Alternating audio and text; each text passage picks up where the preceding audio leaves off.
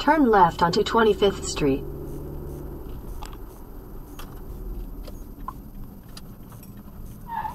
Oh my god! In 600 feet, 25th Street turns left and becomes 3rd Avenue.